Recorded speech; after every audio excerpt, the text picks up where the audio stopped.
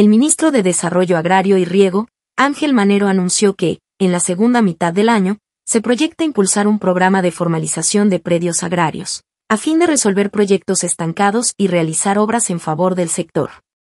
Un tema grande que impide avanzar en obras en la Amazonía es el de la formalidad de los predios y tenemos que usar la Ley 31.973 para resolverlo.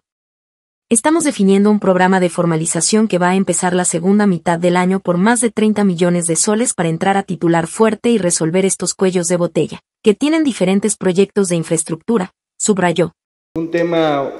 muy grande que impide avanzar en obras en la Amazonía es el tema de la formalidad de los predios. Y sin duda eh, tenemos que usar la 31973 para resolver esto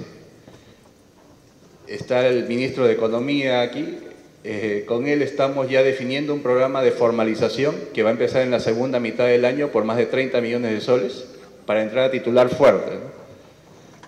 En otro momento, el ministro del MIDAGRI reiteró la importancia de la recuperación de 120.000 hectáreas de andenes en las zonas altoandinas y de ceja de selva, que en su primera etapa requerirá 120 millones de dólares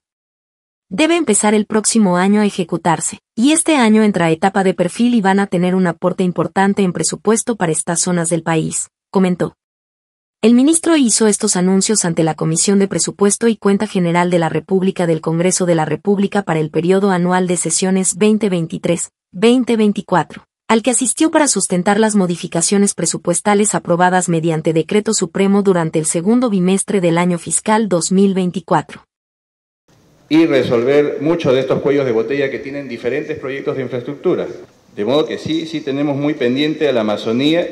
y un proyecto que recién estamos formulando y donde regiones como Huánuco, por ejemplo, van a tener mucha participación, es un proyecto importantísimo porque son 120.000 hectáreas de recuperación de andenes en toda nuestra región andina y en toda ceja de selva.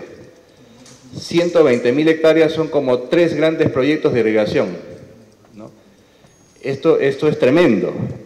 Solo en su primera etapa se va a requerir 120 millones de dólares y este proyecto ya debe empezar el próximo año a ejecutarse.